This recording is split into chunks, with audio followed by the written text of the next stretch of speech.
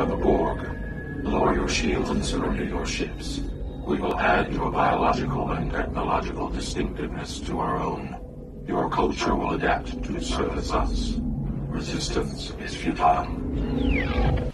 This is Captain Jonathan Archer of the Starship Enterprise. Prepare to attack. All hands battle stations. Let's make sure that history never forgets the name Enterprise.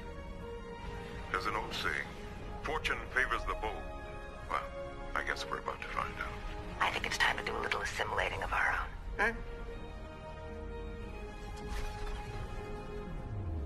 Still think resistance is futile?